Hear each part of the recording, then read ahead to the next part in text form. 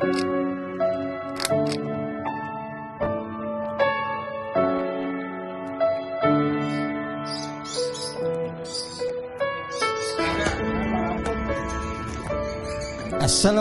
warahmatullahi wabarakatuh Bagaimana kabarnya teman-teman Lensa Hobi? Semoga semua sehat, semua baik Bahagia bersama keluarga dan bersama hobinya masing-masing. Video kali ini saya mau menginfokan salah satu villa Yang masih berada di daerah Puncak, Bogor. Villanya cukup besar dengan 8 kamar tidur dan 4 unit kamar mandi. Yang lebih asiknya, villa ini juga mempunyai kolam renang pribadi Untuk anak-anak maupun dewasa. Namanya Villa Happy.